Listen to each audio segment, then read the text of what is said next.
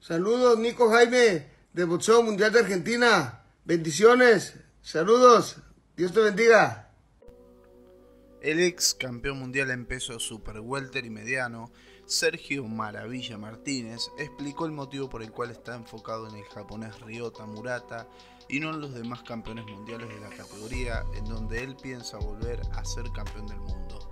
Recordemos que Martínez hizo su regreso el mes pasado en donde noqueó al español Miguel Fandiño con su mirada puesta en el título regular de la AMB en poder del asiático Ryota Murata.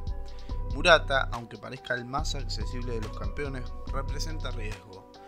No tiene demasiado poder y es un pugil llevable, al lado de bestias como Charlo, Golovkin, Canelo, un Eubank Jr. y hasta quizás un Jaime Munguía, quien recientemente expresó que va a militar en las 160 libras. Honestamente, creo que necesito mínimo dos combates para saber dónde estoy, le dijo Martínez a Álvaro Carrera de AS.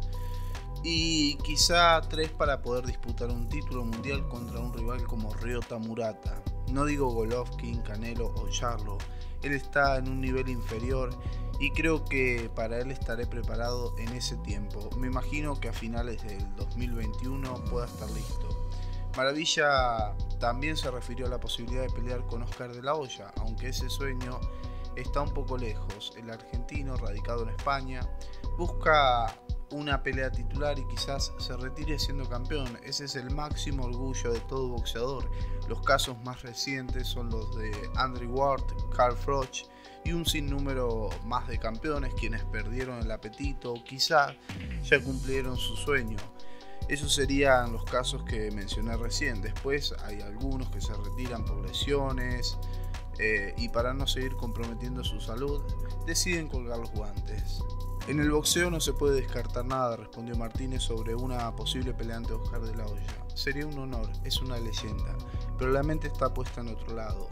Si antes se puede dar esa posibilidad, ir por un título mundial ante Murata, estaría encantado. También se refirió a un tema bastante polémico y es que, como sabemos, el organismo que preside Gilberto Mendoza Jr. lo colocó dentro de los 10 del ranking de peso medio. Esto se me hizo algo medio injusto sabiendo que hay jóvenes que pelean día a día por una oportunidad, la de ser campeones del mundo. En una charla en redes sociales con mi amigo Gilberto Mendoza me dijo que si hacía tres peleas serias me conseguiría la oportunidad ante Murata, reveló Martínez.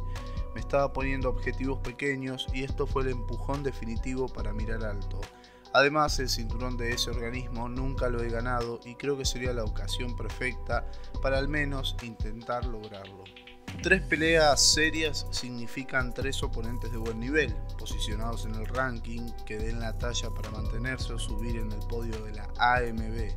Quizás esta decisión por parte del presidente de la Asociación Mundial de Boxeo fue un poco apresurada y debieron esperar a que Martínez haga dos o tres peleas para luego rankearlo para disputar una corona mundialista.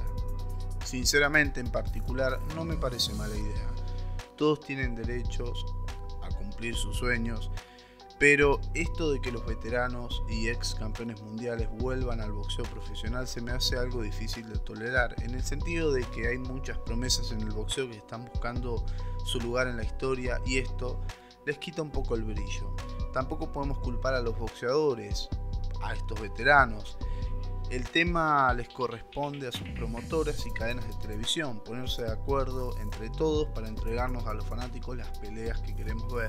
Maravilla, en mi opinión personal, es un excelente atleta y profesional en todo sentido, pero a sus 45 años regresar y buscar un título mundial se me hace muy arriesgado, por su salud más que nada.